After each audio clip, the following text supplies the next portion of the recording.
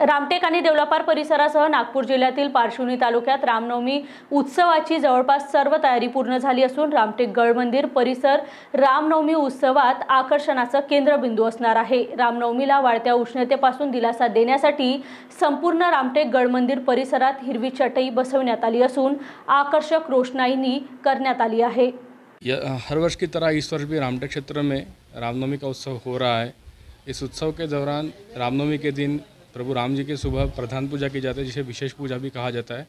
श्री राम जी की और लक्ष्मण जी की पूजा के साथ साथ यहाँ पर मंदिर परिसर के जितने भी छोटे मंदिर हैं, उनकी भी विशेष पूजा होती है।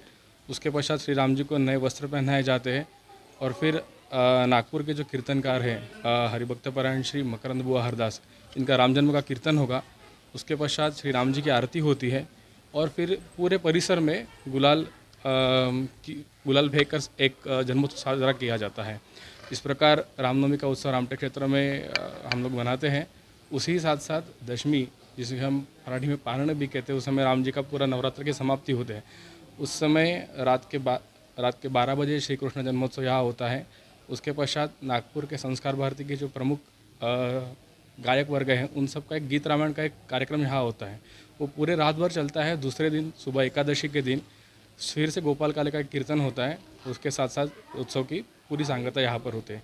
इस तरह प्रतिवर्ष की तरह भी रामनवमी उत्सव यहाँ पर होने वाला है।